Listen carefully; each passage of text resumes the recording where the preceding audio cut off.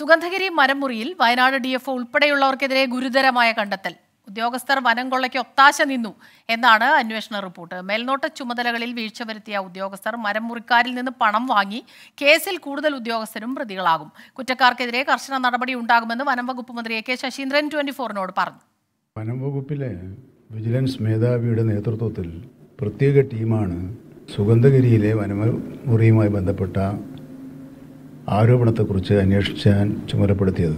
വനംവകുപ്പിലെ watcher മുതൽ D F O വരെ ഉൾപ്പെടെ പതിനെട്ട് പേരുടെ ഭാഗത്ത് നിന്ന് ഗുരുതരമായ വീഴ്ചയുണ്ടായി എന്നാണ് റിപ്പോർട്ട് നൽകിയിട്ടുള്ളത്. നിയമാനുസൃതമായി എന്തെല്ലാം നടപടികളാണോ സ്വീകരിക്കേണ്ടത് കർശനമായി തന്നെ ആ നടപടികൾ സ്വീകരിച്ച് മുന്നോട്ട് പോകാനാണ് വിജിലൻസ് മേധാവിക്ക് നൽകിയിട്ടുള്ള നിർദ്ദേശം. വനം കൊള്ളക്ക് കൂട്ടുനിൽക്കുന്ന ഉദ്യോഗസ്ഥന്മാർക്ക് വനം വകുപ്പിൽ സൂര്യവിഹാരം നടത്താൻ സാധിക്കാത്തൊരു സാഹചര്യം സൃഷ്ടിക്കാനാണ് ഗവൺമെന്റ് ആലോചിക്കുന്നത്. ദീപക് ധർമ്മടം ചേരുന്നുണ്ട് കോഴിക്കോട് നിന്ന് വിവരങ്ങളുമായി. ദീപക് ഈ വേലി തന്നെ വിളവ് തിന്നുന്ന കാഴ്ച അത് വല്ലാത്തൊരു ആശങ്കയുണ്ടാക്കുന്നു. കാരണം ഇങ്ങനെ പോയാൽ എന്താണ് ഈ നിയമം എന്നൊക്കെ പറയുന്നത്? അല്ലെങ്കിൽ കൃത്യമായി കാര്യങ്ങൾ നിർവഹിക്കേണ്ട ഉദ്യോഗസ്ഥർ തന്നെ ഇതുപോലെ ചെയ്യുമ്പോൾ. അപ്പോൾ കൃത്യമായ കർശനമായ നടപടി ഉണ്ടാകുമെന്ന് തന്നെ വനം വകുപ്പ് മന്ത്രി പറയുന്നു അല്ലേ? അതുതന്നെയാണ് സ്മിത വേലി വിളവ് തിന്നുക എന്നുള്ളത് തന്നെയാണ്. വനപാലകർ വനം കൊള്ളയ്ക്ക് കൂട്ടു നിൽക്കുന്നു അതിനുവേണ്ട സംരക്ഷണം അതിന്റെ ഗൂഢാലോചനയിൽ പങ്കാളികളാകുന്നു എന്നുള്ളത് തന്നെയാണ് നമുക്കിതിൽ നിന്നും വ്യക്തമാകുന്നത്. ഏതായാലും വനം വിജിലൻസ് മേധാവി വളരെ കൃത്യമായ അന്വേഷണം നടത്തുന്നു. സാധാരണ ഇത്തരം കേസുകളിൽ കാണാറുള്ളത് താഴെത്തട്ടിലെ കുറച്ച് ഉദ്യോഗസ്ഥന്മാർക്കെതിരെ മാത്രം നടപടി ഉണ്ടാവുകയും യഥാർത്ഥത്തിൽ ഈ വൻ സ്രാവുകളൊന്നും തന്നെ പിടിക്കപ്പെടാതെ പോവുകയും ചെയ്യുന്നതാണ്. പക്ഷേ എന്നാൽ ഈ കാര്യത്തിൽ നമുക്ക് മറ്റു പല വനം കൊള്ളയിലും നമ്മളത് കണ്ടതാണ്.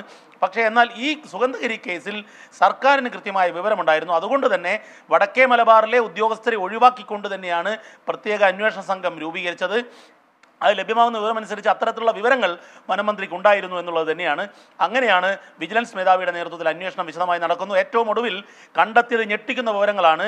അതായത് വാച്ചർ മുതൽ ഡി വരെ ഈ ഒരു വനം കൊള്ളയിൽ പങ്കാളികളായി ഒത്താശ ചെയ്തു കൊടുത്തു എന്നുള്ളതാണ്.